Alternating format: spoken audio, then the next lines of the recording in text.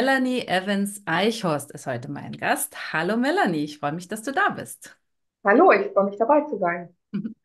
Melanie, du bist Dozentin für Kindheits- und Umweltpädagogik. Also du hast ähm, Umwelt ähm, und Bildung studiert und ähm, bist in diesem Bereich, ja, in Kitas, aber auch in anderen Bereichen tätig. Ähm, und gibst vor allen Dingen auch, was ich sehr spannend finde, solche Umweltpädagogik-Seminare. Das würde mich interessieren.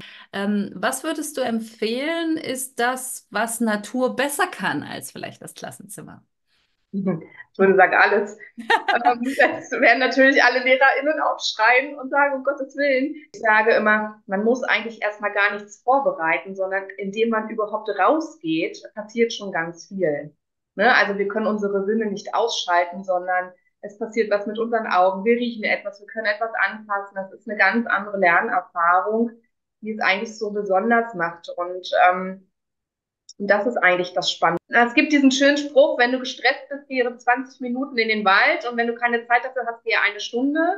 Ähm, es hat eben auch eine Wirkung. Ja, ja also eine positive Wirkung in der Regel, wenn wir nicht gerade an der Hauptverkehrsstraße äh, stehen und es unglaublich laut ist, ja. Lass uns mal konkret werden, weil viele Lehrkräfte erstens ähm, können das vielleicht nicht aus, aus versicherungstechnischen Gründen. Da hast du vielleicht Tipps. Dann auch, ähm, dann ist es oft so, ähm, wie kriege ich das äh, vermittelt in einer größeren Gruppe? Also ähm, gibt es da technische Hilfsmittel, die du empfehlen kannst? Also was sind so diese Rahmenbedingungen, damit es überhaupt klappen kann? Weil das uns Natur ähm, bessere Sachen vermittelt, ist, glaube ich, jedem klar. Aber was mir immer wichtig ist, ist, dass wir es ähm, auch so rüberbringen, dass das die Leute dann auch wirklich machen. Ne? Also von daher hast du da so ganz konkrete Tipps, um diese Hürden, die viele im Kopf haben, einfach auch zu minimieren, sage ich jetzt mal. Oft lohnt es sich auch einfach direkt in der Umgebung zu gucken, wo haben wir ein kleines Stück Natur wo haben wir sogenannte Naturräume, die wir nutzen können, wo wir ganz schnell zu Fuß auch hin sind. Dass wenn man tatsächlich direkt in den Wald geht, sollte man sich vorher immer die sogenannten Rettungspunkte ansehen. Also es gibt in den Wäldern sogenannte Rettungspunkte. Also wenn ich tatsächlich ein ähm, RTW rufen muss, kann ich diesen Rettungspunkt angeben, dass ich gefunden werde. Und da gibt es ähm, im Internet eine Karte. Da kann ich online alle Rettungspunkte einsehen, die es in Deutschland gibt. Und das kann man natürlich im Vorfeld machen sollte mir immer überlegen, wo macht es wirklich Sinn, ähm, wo ist der Effekt größer, es draußen zu zeigen, ähm, als an einem schönen Arbeitsplatz. Trotzdem stellen wir immer wieder fest, dass nichts passiert. Die Kinder sitzen im Klassenzimmer, auch die Erwachsenen sitzen in ihren Räumen. Also das heißt, irgendwas läuft da nicht also uns ist das klar, ja, also nicht nur dir und mir, sondern auch, glaube ich, sehr vielen anderen, ja, wie viel macht da Bewegung aus, das Gleichgewicht, die Gerüche mit allen Sinnen lehren, in, äh, lernen, also all diese Themen sind klar und trotzdem passiert es nicht. Also das heißt, was mich interessiert ist, wie kriegen wir sie jetzt aus dem Klassenzimmer oder aus dem Kursraum raus in die Natur rein, also ich kriege als Widerstand zu hören, ja, ähm, ich verliere zu viel Zeit. Der, der Hinweg und der Rückweg dauert zu lange.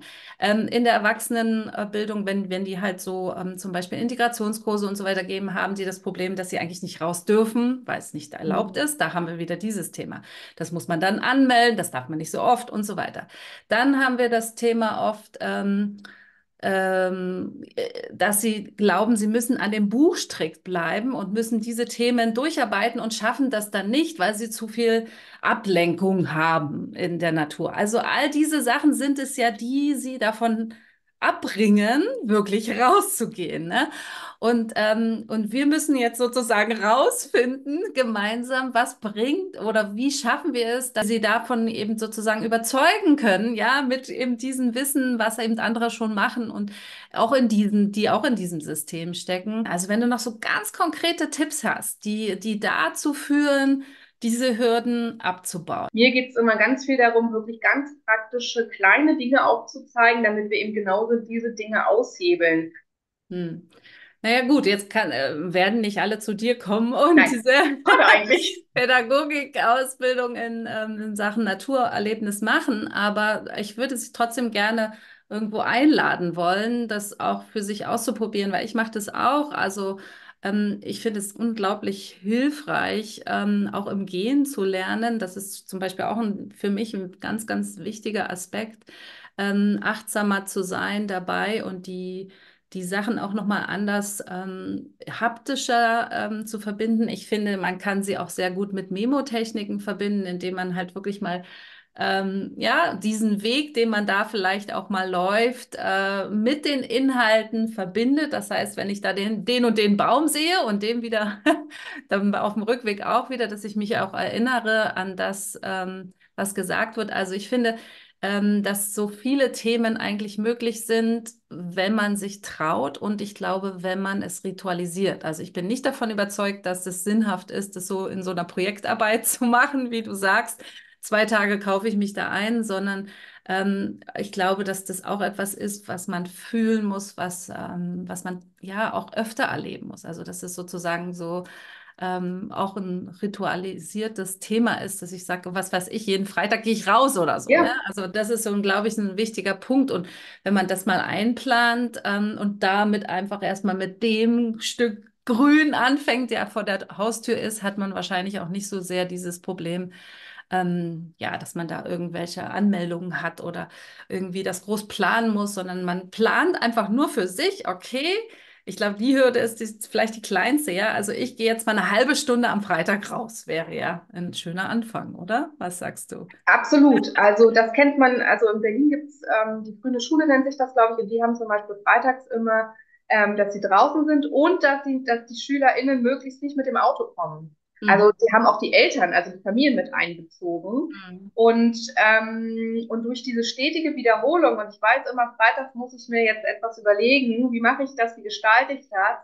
ähm, verfestigt sich das Ganze. Und ähm, ich bin jetzt auch nicht der Befürworter, dass es jetzt heißt, wir müssen fünf Tage die Woche ähm, irgendwie jeden Tag rausgehen. Den Druck darf man sich nehmen, aber genau die Wiederholung zu schaffen, und sich auch selbst die Last zu nehmen. Ich sage immer, wir dürfen das auch als Lernprozess auch für uns selber sehen. Ich würde auch niemals ähm, einen Projekttag genauso machen, weil das wär, würde mich total langweilen.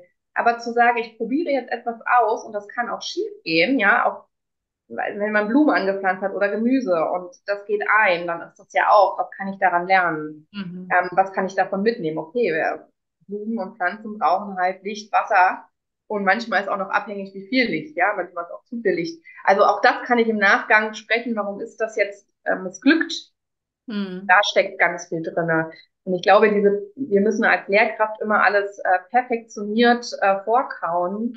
Ähm, da dürfen wir, glaube ich, einen Schritt zurückgehen. Und warum auch nicht in einer, in einer Dienstberatung oder Schulberatung sagen, okay, ähm, jeder ist mal dran und stellt heute ein neues Experiment vor. So was Kleines, mini. Ne? Da gibt es 15 Minuten für und jeder und alle im Kollegium können daran lernen und sagen, hey, okay, das habe ich noch nicht ausprobiert, das war eine gute Idee. Wir dürfen uns nicht nur mit Medien beschäftigen, obwohl man Medien und Natur auch ganz wunderbar miteinander kombinieren kann, aber wir sollten uns nicht nur damit beschäftigen, sondern eher mit dem ganzheitlichen Ansatz. Gibt ja auch solche Apps, also ich merke, ich habe so eine App, Picture This heißt die. Ähm, damit kann ich so äh, in der Natur alles fotografieren und da bekomme ich nicht nur die Informationen, ähm, was ist das jetzt für ein Baum und so, sondern da kommen Gedichte und da kommt irgendwo, wofür steht das symbolisch und also man kann da in sehr, sehr vielerlei Hinsicht mit arbeiten. Das Finde ich sehr spannend. Also ich, ich krieg, ich werde nicht bezahlt für die aber also ist beispielhaft jetzt, ähm, wo ich sage, ja, da kann man so viel lernen von, ja. Was sind ess, was ist essbar, was nicht und so weiter. Also sind so viele Aspekte dabei, ja. Ja, es gibt mittlerweile unglaublich viele Apps, die man nutzen kann. Ich würde mhm. immer, also auch keine bezahlte Werbung, ne? Also ich würde immer die, ähm, die App vom NABU empfehlen weil da kann man sich immer sicher sein, das Wissen ist gut recherchiert, ähm, da ist man immer auf der sicheren Seite und auch der NABU, ähm, auch selbst wenn man den einkauft, zum Beispiel ähm, Fledermaus-Projekt, dann zeigen die einem auch Dinge, wie man es fortführen kann, ne? indem man eben eine Fledermaus ähm, ähm, Nest installiert und wie kann man das dann eben weiter verfolgen. Mhm. Ähm, manchmal hilft es ja doch, wenn jemand externes kommt und den Impuls gibt, aber mhm. dann auch mit aufzeigt, das ist ja. jetzt nicht einmalig, sondern wie können wir das integrieren. Ja. Und ich glaube, das ist, ähm, da haben wir in der Zukunft noch ziemlich viel Luft nach oben. Absolut, ja, das ist doch ein schönes Schlusswort. Das haben wir in, in ziemlich vielerlei Hinsicht in Sachen Bildung, aber dafür ähm, versuchen wir uns ja zu vernetzen und unsere, unser Wissen zu teilen. Und ja, danke dir, Melanie, fürs Kommen. Sehr gerne.